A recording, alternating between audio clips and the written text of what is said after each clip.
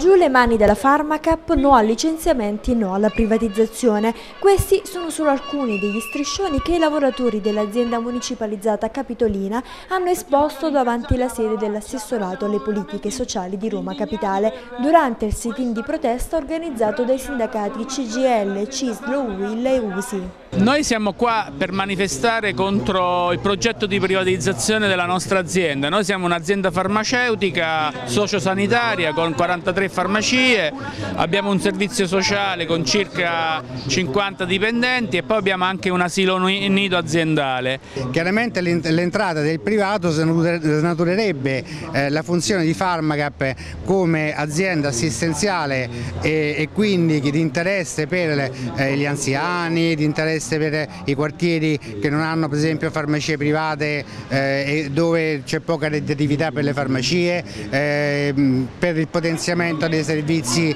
con sconti dei farmaci per, le, per, esempio per le maternità oppure sconti per gli anziani oppure sconti per eh, chi non ha potere economico per potersi permettere i prezzi normali dei farmaci. La situazione della farmaca è una situazione molto critica perché eh, ha presentato dei bilanci per il 2012 e il 2013 2013 in passivo, in forte passivo, 10 milioni per il 2011 e 5 milioni per il 2012 e poi nel 2013 lo stesso si prevede un passivo di circa 5 milioni. Le proposte sono quelle di rilancio dell'azienda Pharmacap, il suo carattere pubblico, la creazione di nuovi servizi anche, il rafforzamento di quelli esistenti per dare servizi alla cittadinanza. Le dico solo questo, noi seguiamo un servizio per anziani dell'assistenza con circa 2500 utenti e credo che di questa città ne abbia bisogno e che bisognerebbe rafforzare un servizio come questo, finanziandolo anche con gli utili delle farmacie. Vogliamo un incontro con l'assessore alle politiche sociali Cutini, siamo in una situazione fortemente esasperata e tanto per non andare lontano, già solo ieri è arrivata la notizia che eh, il Monte dei Paschi di Siena,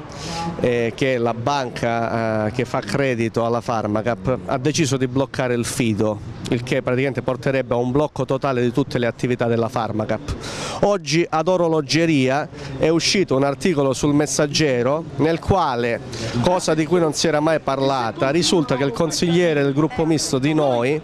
abbia portato in consiglio una delibera per trasformare la Pharmacap in SPA, che sostanzialmente significa arrivare alla privatizzazione, quindi fare una trasformazione da azienda sociosanitaria SPA e poi portare il 40% di quote delle azioni ai privati.